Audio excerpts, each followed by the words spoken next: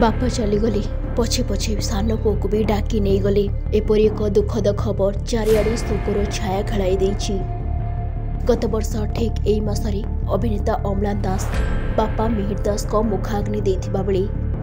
मध्य निज सान भाइर मुखग्निदी शेषकृत्य सम्पन्न गरिन्छ दुःख छिडिला पाहाड दुई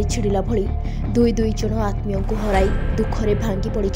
अभिनेता अम्ला दास स्वर्गत मिर दासको सान पु अक्लान्त लिभर जनता समस्या जुन भुवनेश्वर एक घरै हस्पिटाल चिकित्साधीन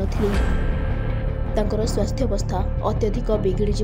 गतकाल राति हस्पिटा प्राण हरेपछि मृत्यु मृत्युपरे कटक सती चौरे तर अन्तिम संस्कार सम्पन्न हुन्छ